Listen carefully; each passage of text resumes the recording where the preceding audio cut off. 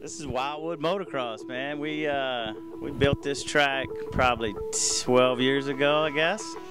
Uh, it was my father's property, and he was gonna raise greyhounds to race uh, a racing kennel out of it, and told me how nice of a property it was. I never came up here and looked at it, and finally one day I came.